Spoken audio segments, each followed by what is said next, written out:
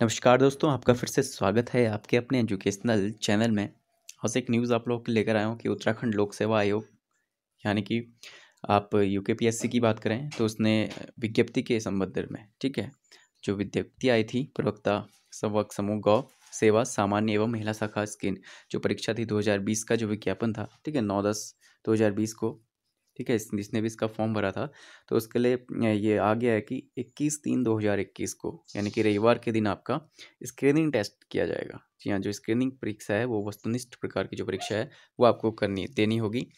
इसका प्रवेश पत्र जो है आपको अलग से इसके लिए सूचना दी जाएगी। अभी प्रवेश पत्र नहीं आया, लेकिन केवल आपने आपको जो है डेट बता दी गई है। और इसकी तैयारी आप लोग कर रहे हैं तो हर शाम की मेरी आठ बजे की लाइव क्लास आती है तो उसमें आपको सारे क्वेश्चन वन बाय वन मैं आप लोगों को करवा रहा हूँ स्क्रीनिंग टेस्ट के जो इम्पोर्टेंट हैं, ठीक है? तो उस क्लास को मिस मत कीजिएगा। तो मिलते हैं आपसे, आगे कोई भी इन्फॉर्मेशन हो और कोई एजुकेशनल वीडियो के साथ। Thank you